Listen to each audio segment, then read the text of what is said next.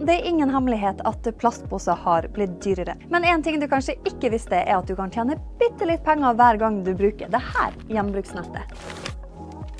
Coop har nemlig gjort det sånn at du får én krone i bonus hver gang du bruker handlenettet i en Coop-butikk. Det hele er veldig enkelt. Du viser det frem i kassa, eller skanner det sjøl i selvbetjenten. Et lite bip, og vips så er du én krone rikere.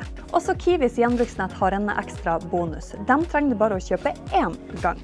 Om det skulle bli ødelagt, så kan du faktisk ta det med tilbake i butikken og få et nytt.